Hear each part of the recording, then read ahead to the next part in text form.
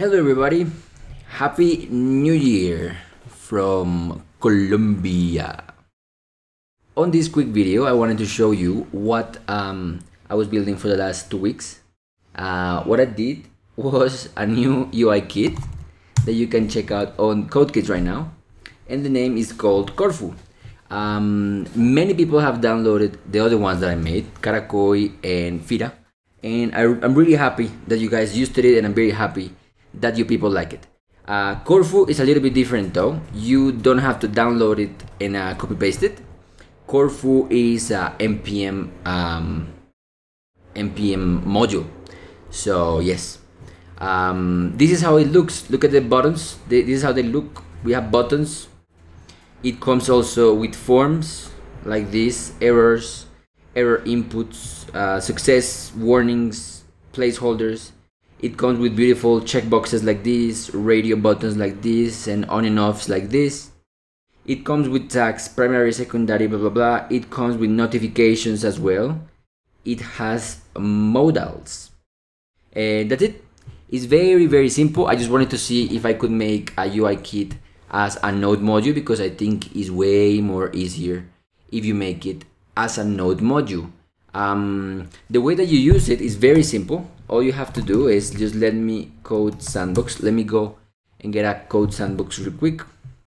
And uh, all you have to do will be to install it doing yarn add uh, Corfu or Corfu or npm install Corfu. All right? And um, there is something super cool that is that you can see uh, the playground. The playground is basically is a, a, a new thing I learned, which is how to show components in React and change the props.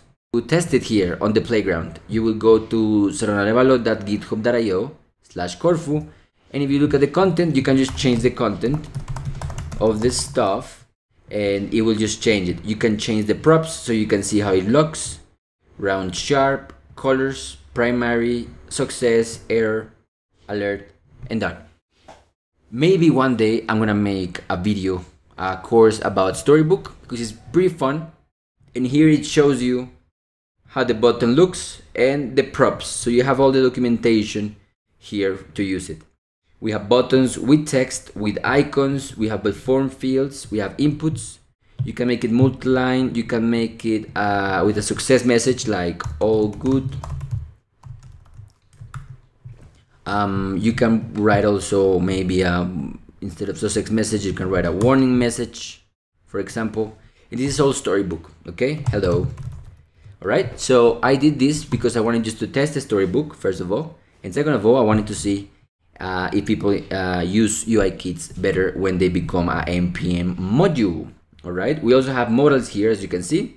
And you can see here the default uh, styles. If you click show info you will see the source and how it looks and the prop types of the modal component. It tells you um, the options, primary, success, blah, blah, blah, cancel text, confirm text, title, support text, class name, width, on close, on confirm, and on cancel. And these are all there for you to check them out.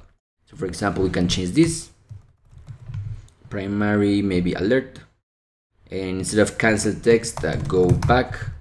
And next step confirm. For example in support text no support text or this is a warning. Alright so I made this into storybook because it's just a cool pretty cool way to test your react components. Uh, isolated. It's very nice and the fact that you can change stuff here it's also pretty fun hello code sandbox blah blah blah. I'm working right now on code sandbox. You can work on whatever you want. I am going to add where do i add dependencies? Here. I'm going to add one corfu. In your case this is it. Corfu is a beautiful modern react ui kit. In your case you can um i don't know. You can install it with yarn npm yarn add uh, corfu or you can do npm install Corfu. It's gonna be installed and then all you have to do is just use it. So all you have to do is do import, uh, you can import a modal from Corfu for example. You will do import modal from Corfu. Alright, and let's just just for now let's just copy paste this modal let's see if it works Oops. let's see if it works and it works look at that all right so you can just import whatever you want. You can import button as well from Corfu. And then let me just hide this. And then you can do button. And the cool thing about this is that it has um has a uh, TypeScript definitions. So you can just let me just copy paste this to see if it works. So it, you have a very nice autocomplete content. For example here it tells you content. And you will say hello for example and theme. You see the options there for example primary. Let's see if it works. There we go. Hello. Okay. And check out the page so you can see the buttons have a solid state and they have an inverted state. If you want to see how it looks inverted you just click here boop, and they become inverted make it maybe make it round a little bit round sharp. So just fuck around with it. I did it with all the love in the world because i want to experiment and see if you people will download it as an npm module. It has everything you need for buttons everything you need for forms everything you need for inputs. Oh i didn't show the inputs. Inputs. Uh, checkboxes this one. Checked or disabled and the label. Right? This is how it looks. Checkbox check checkbox name checked and disabled. Checked or not checked checked in this case and there it is. So yes let me know if you like it. Let me know what you think. This is nicolas. Happy new year. Welcome back.